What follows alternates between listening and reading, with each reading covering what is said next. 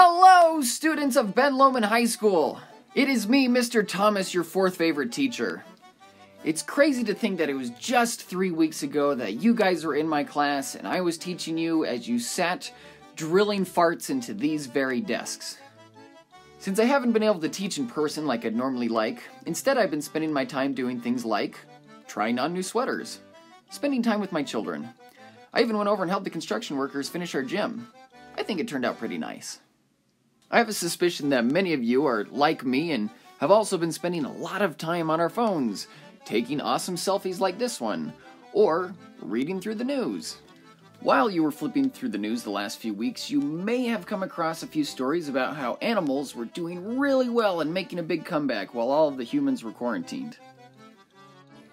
Scattered amid a relentless barrage of news about COVID 19 case surges, some happy stories started circulating on Twitter that seemed to soften the blows.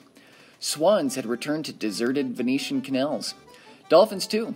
And a group of elephants had sauntered through a village in Yunnan, China, drank a corn drink, and passed out in a tea garden.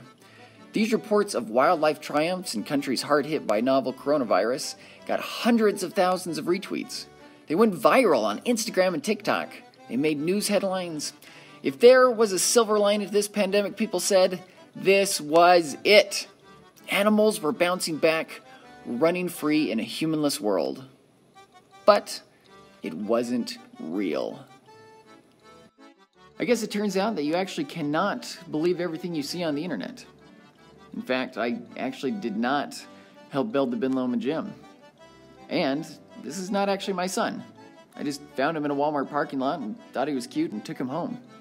And I know this can be a tough pill to swallow because, I mean, come on. If you can't trust 6 Buzz TV's Instagram account, what can you trust? And that, ladies and gentlemen, is exactly what our assignment is about this week. If you guys go to Newsela, take a look at the assignments tab, you will find a new article about this. Uh, go over all this. I want you guys to take a look at that, read through the article carefully, and answer the questions that go along with that. And let's start a discussion about why we believe things on the internet when we know most of the time they're bogus. And while you guys do that assignment, I'm going to try on more sweaters.